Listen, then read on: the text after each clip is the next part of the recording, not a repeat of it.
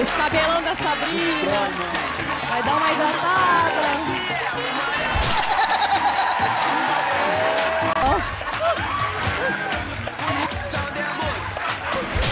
Vamos lá, Tamires e Tadeu.